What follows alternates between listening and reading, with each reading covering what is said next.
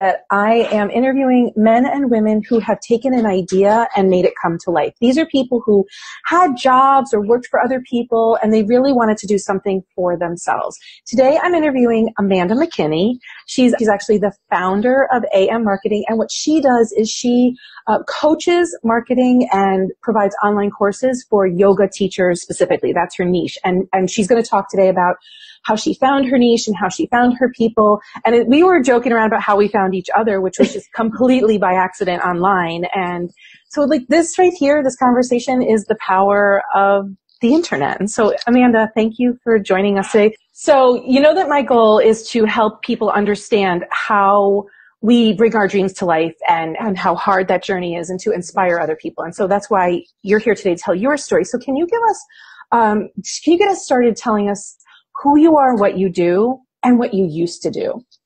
Oh, yes. It's such a fun story. Okay. And I think like with anyone's story, I've watched so many of your videos of the how they took the leap videos and so many stories are very closely related mm-hmm. that you know, there's this, we take this other path and, and it takes a, a windy road to get to where we are today. And, and that's exactly what mine looks like too.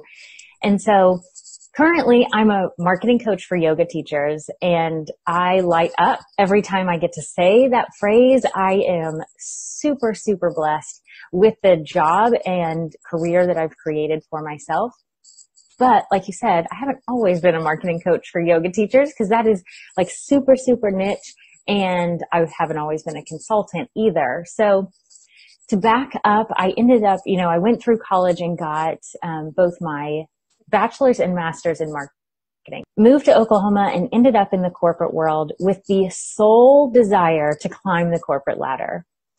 And I knew that's what I was going to do. I had no doubt. I had no dreams of creating a business at all.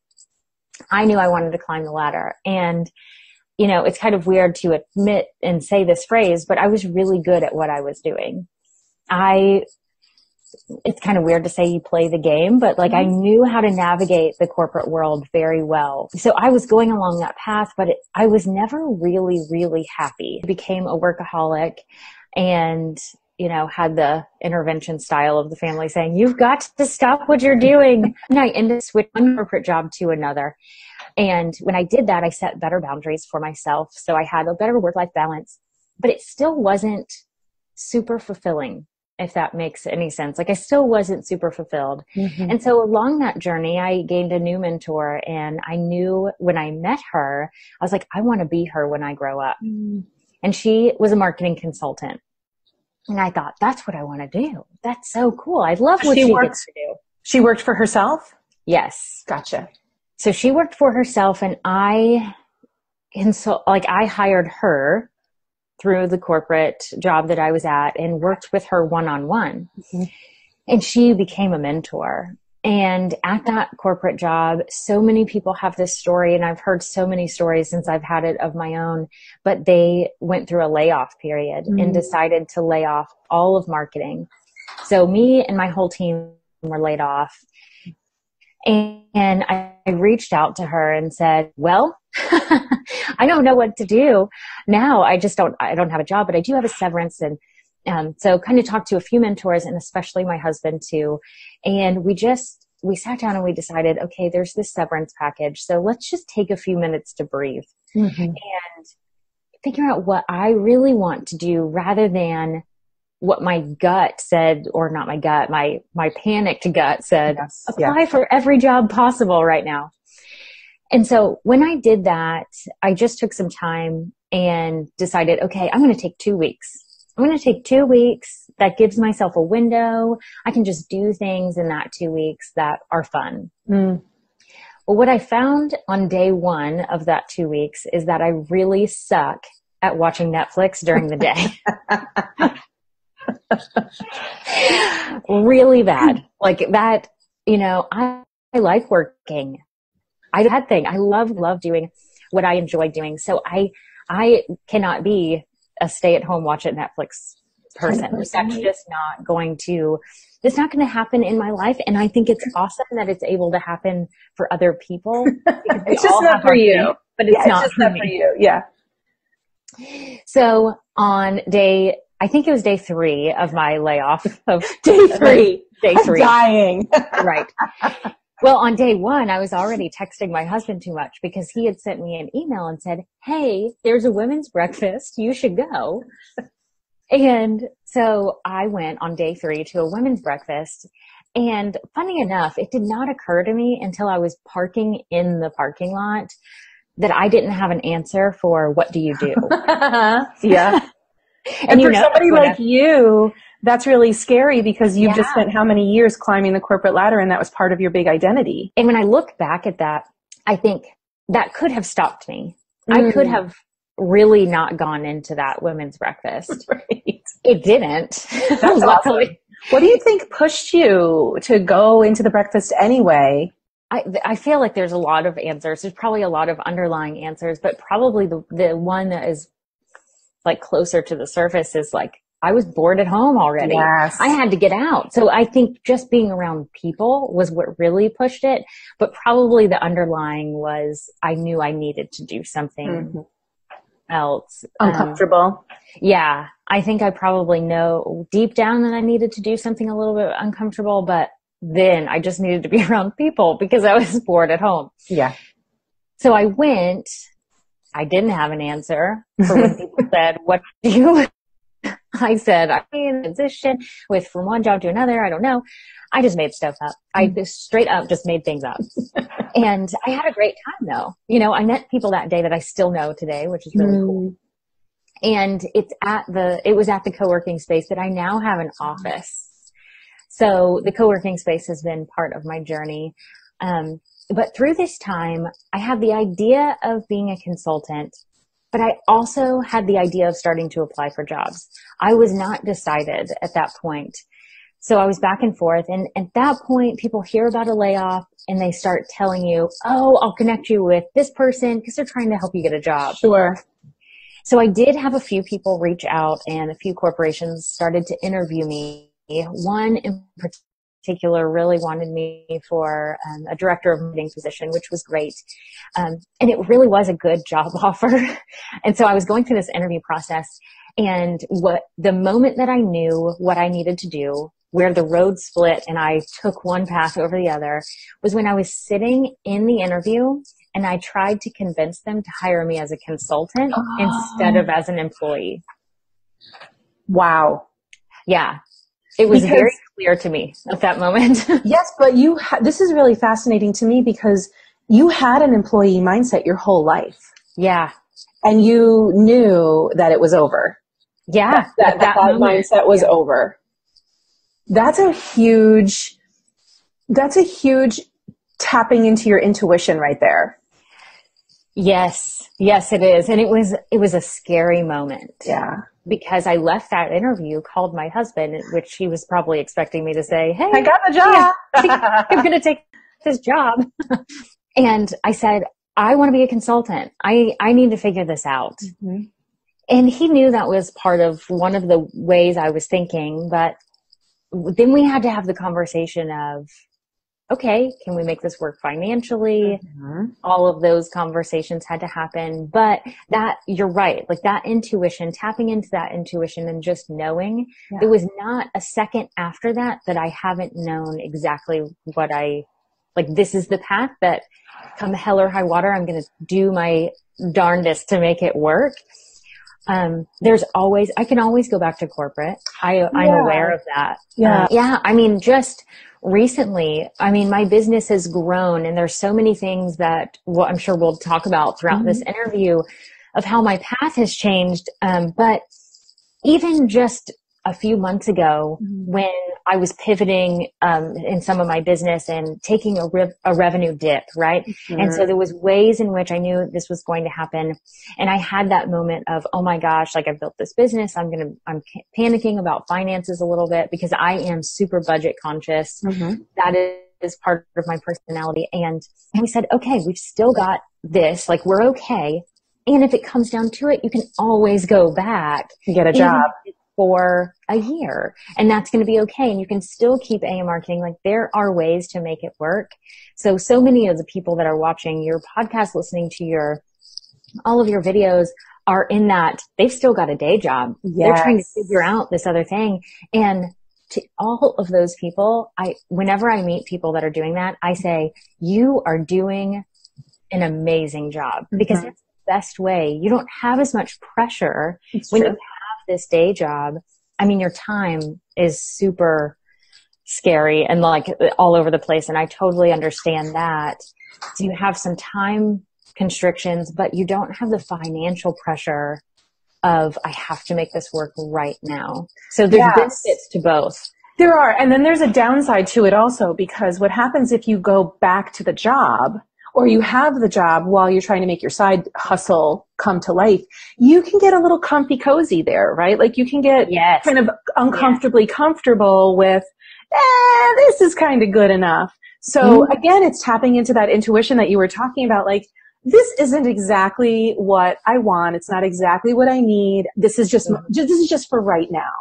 And yeah. I think it's, it's always remembering to go back to that. How does this make me feel? How does this mm-hmm. make me, uh, like feel in my body and my brain? Yeah, I love that. And Steph Crowder of the Courage and Clarity podcast, she talks about identifying the number. What number do you need to leave your job? Mm. And really identifying the number because so many people will never get there if they don't identify like this is the number. This is for when I will leave. I will put in my two weeks notice. Yes. Or walk out the door, whatever yes. your whatever it's, your jam uh, is. For some, pe- for some people, it's a date. Uh, I have one client who is a teacher, and she's like, when I get my 20 years in, because she's very close to that. When I get my 20 years in, then I'm then. So she's got to work up That's awesome. to her her business all along. So at 20 years, she can walk away. So so sometimes we do need yeah. that hard number, whether it's a mm-hmm. date or an amount right. that you want to make, or a number of clients. Right. I, I talked to another woman who she has a full time job, a great gig, lots of great insurance and benefits, and so she doesn't really want to become a full time entrepreneur. Mm-hmm. And her mm-hmm. goal is she has a certain number of private clients she wants to work with and that is a great way to kind of put a container on it for her, right? Like she wants to keep her job, mm-hmm. but she knows she only wants to take on eight clients. And so she is an entrepreneur. She's just using a container so that she doesn't feel like she's all over the place like you were talking about with your time. So I yeah. love that approach too. That's awesome. Totally, totally good. All so of it is good. When you had your dream to become the consultant, um, things had to shift obviously like you had to make mm-hmm. changes in your family life and your marriage and your daily life what shifted for you to make it real so finances is the obvious easiest answer to give okay. and it's so true it's definitely at the top of the list that my husband and i had to sit down and say can we and this is how we approached it it's mm-hmm. not how everyone will but right. we approached it as let's pretend Amanda makes zero dollars for three years. And can we do that? Mm-hmm. Can we do mm-hmm. two? Can we do it for one? And that was kind of, you know, people business is, you know, two to three years and you kind of get more of a stride going and, and, can estimate more of your income. And so that's how we approached it. And I, I'm extremely fortunate. And I always like to bring that to light when I share my story because I not only had the emotional support from my husband, but I had financial support. And not everyone is in that same situation all the time.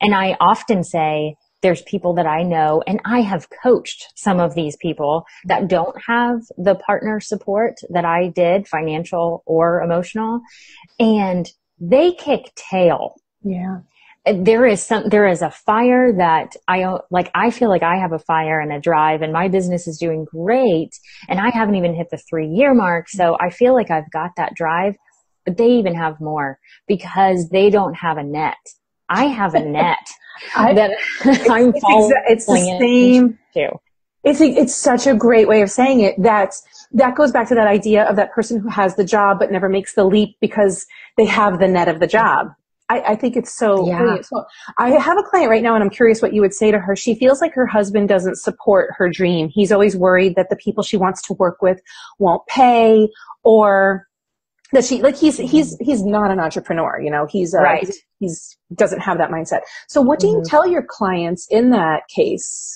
yeah Well, there's a lot. There's one thing and, and really interesting. I don't think I would have said this a year ago, but through all the mindfulness work I've done, mm-hmm. especially because I'm a yogi at heart mm-hmm. and I'm going through yoga teacher training. So I'm learning even more. Mm-hmm. Tapping into that intuition and mindfulness is that I've actually started catching myself because I am guilty of saying yoga teachers don't make a lot of money. So my stuff needs to be priced at a certain level to make it affordable. So glad Which we're having this conversation. Is, oh my God. Yeah, it is true. It's so true that I have to price my services in a certain way because of the audience I serve. However, I do not say the phrase anymore, yoga teachers can't afford that because that is not okay. You know, yes. we can afford what we want. We will make it work when we want our nails done when we want, uh, whatever it is, we will figure it out. I want to stop you there because mm-hmm. I want to make this point very, very clear because most of my clients work with people who they tell themselves don't have money. The other thing that happens is I live in Syracuse and the big thing that people will say around here if you're an entrepreneur is, well, people in Syracuse don't have any money. And that is complete there is there is money here. Yeah. It is it is BS.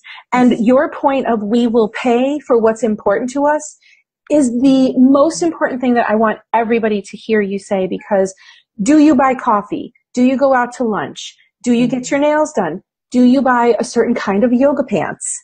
Do you go to a certain right. store to buy your yoga gear? Where's your yoga yes. mat from? You know, like you yes. have an $89 yoga mat. Like we have money, right? We just mm-hmm. choose to spend it on certain things. So I want to make sure everybody gets that point that yes. you're saying because I love that.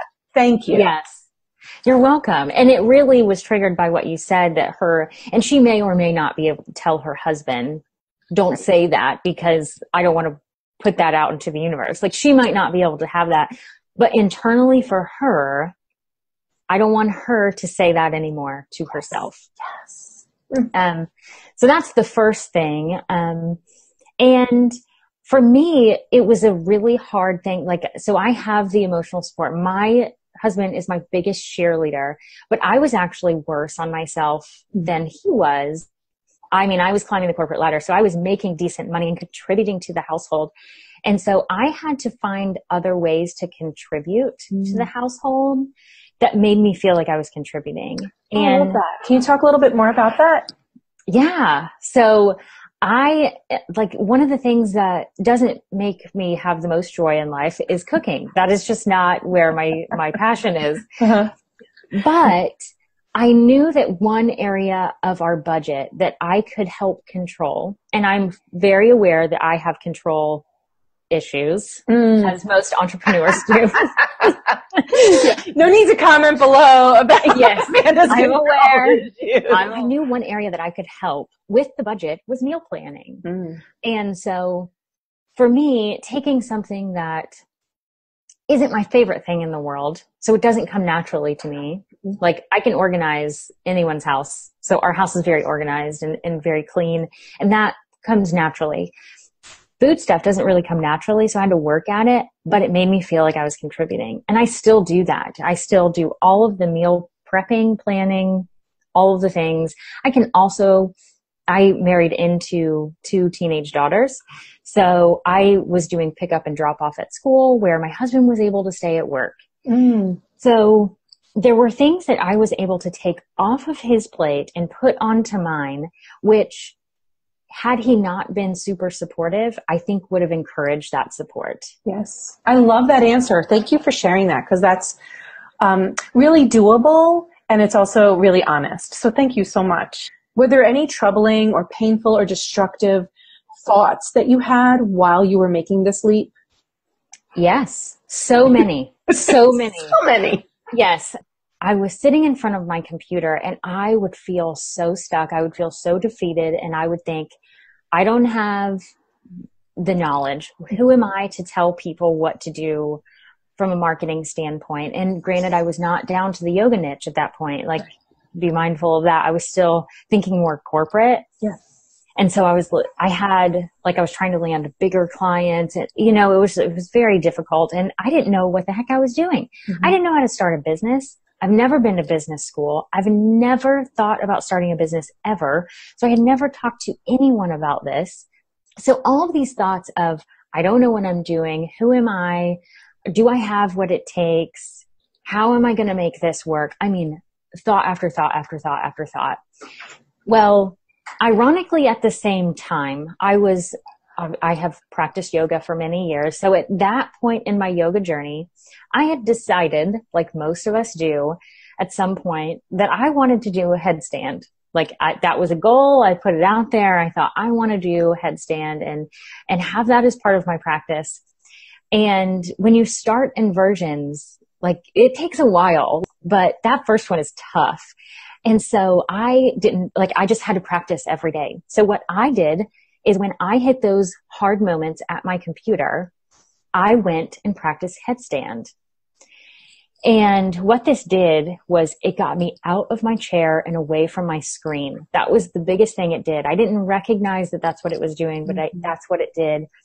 And the second thing it did is, and I talk about this a lot of pairing a work related goal with a physical goal. Mm.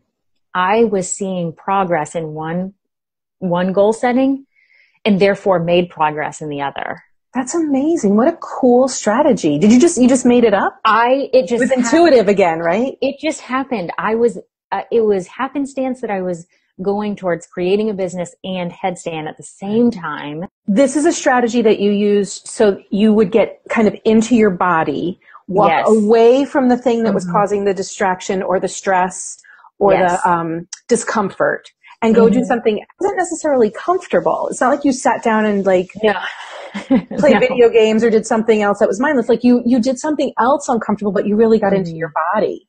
Yes, very much. I think the physical aspect of it was what, and when I say like, it could be walking around the block for a mile if that's yes. not what you do. It doesn't have to be standing yes. on your head. Sure. Totally. This one was not related to this one. Yeah. So there was no correlation of like, if I do good at this, uh, or if I don't do good at this, I won't do good at this. Like there was zero. Yeah. Um, it but I didn't know that it was it was actually more correlated than I thought because I made progress in one, so I made progress in the other. Also, you didn't say, "Well, I don't understand what's next for me, so let me go listen to a Marie Forleo podcast and learn yes. about, or let me go listen to an Amy Porterfield podcast." Like you, even though I do those all the time, I, I do too. but this this was like they were completely unrelated. Yeah. So that's a really great tool yeah. or strategy. And I wonder how people would use that for themselves. So I'm going to ask people like, how could you yes. get out of your own way and do something else still uncomfortable, but, but unrelated? I love that. So uncomfortable, but unrelated. Oh, I love that. What is one thing that you wish you had known mm-hmm. before going through all of this? I think the things I wish I knew, I was actually told and I wish I had listened. I just wish I had listened. or really like took it in. Because when I think about it, I think about it's the tough parts, right? Because I like to share the ups and the downs. When I tell people about my journey, I say, I love what I do. Mm-hmm. I love it. I have such a passion. I get so excited every day. I wake up so dang early to get up and work. I would work all the time if I didn't set clear boundaries for myself. My I love it. Mm-hmm. But I also cry. Mm-hmm. And I think it's share those moments and say, there's great days, but there's also really tough ones. And so the peaks and valleys not only financially, but emotionally as well are going to happen. And I was told that day mm-hmm. one by all mentors that said, Hey, when you go out on your own, like there's going to be peaks and valleys financially, there's going to be peaks and valleys emotionally, just prepare for that. And I heard it but I didn't, I didn't, you didn't believe it. I didn't know how bad the bad days could actually be. And, and how big the say, fear is, right? Like how oh, big yeah. that fear could be. And it's so, so hard. Um, and I don't want to discourage anyone. I always, I kind of go full circle and say, I want to share the good and the bad. I don't want to discourage anyone from doing it because I wouldn't change anything about what I'm doing. Right. I would take the same path to get to where I am today. I just want to share because I think it's important to share that there are hard times. Yes. And the other thing I think I'm just um, blessed in that, um, and I'm an extrovert, so maybe that has a little bit to do with it too. But I like networking is not a problem for me. Connections are not a problem for me. Like you and I connected and it's like, hey, mm-hmm. we're best friends now. it's so much fun for me to connect with people. And I've always known the value of mentors, mm-hmm. but equally so, I've known this. And so maybe it doesn't come as naturally to other people, but single handedly, the best thing I've ever done is to have what I like to call my biz besties. Mm-hmm. So they're my business best friends. They're walking the same journey with yes. me. And those are the ones, it's like you and I connecting. I could, you know, send you a message and say, oh, this day, this day, I feel like I'm not doing anything right. And you would probably be having a good day and say, you got this girl. Mm-hmm. It's fine. Tomorrow's a new day. And you need those people in your life so finding them, I, and I say I'm blessed because I was very lucky to find them quickly mm-hmm. and they're still my biz besties today, three years later. I do want to talk about how people can, well, where they can follow you and how they mm-hmm. can get in touch with you, but also how they can work with you because awesome. people think they can do it on their own and you mm-hmm. can. It takes a hell of a lot longer. Yeah. I'm going to pitch for Amanda here for a second. She did me a wonderful service and looked at my uh, website and like went through every page of my website and gave me feedback on what I could tweak, what was working, what wasn't working. And it was so generous of her to do. But like that, I, I went right in and made those changes and it cleaned it right up and she was able to just zero right in. And so you can stop wondering, what do I need to change? You can stop wondering, what do I need to do? Because this woman can tell you what to do. So Aww. how can we get in touch with you, Amanda? So I have, my website is ammarketing.co. And I always like to say it is .co, not com. Mm-hmm. So if you're out there and you own ammarketing.com, please lower the price for me because it's really expensive right now. um, no one's using it, so it's okay, but it is .co. That's obnoxious. That person is just being obnoxious. yes. Um, and I have, this is my favorite thing since you and I are, have talked about it a lot today, and it's my favorite thing to talk is niching I have a, a, free download on niching down. It is specific to yoga teachers. So I will give that preface. You can, if you are not a yoga teacher, still download it. There's nothing stopping you and you just apply it to yourself in however you can. So I also created a Facebook group. It's really brand new. So definitely join and join in the conversation. And it is called Focused and Flexible Marketing for Yoga Teachers. Awesome. Well, that is a name that tells you what it does, which is yes what we need more of in the marketing world. Um, I could talk to you forever because I love talking about marketing. I love talking about entrepreneurship. I love talking about yoga, but I will let you go because you've given me a lot of your time. So is there anything else you want to share with the audience before we go? Absolutely. I am a natural encourager. So I want to say that you can do it. Whatever you are doing right now, you are doing awesome. Give yourself grace and just keep doing the thing. I love that. I'm a natural encourager. That's awesome. Thank you, Amanda. I appreciate your insights and your honesty, your tips, and also for being vulnerable here today. So thank you so much.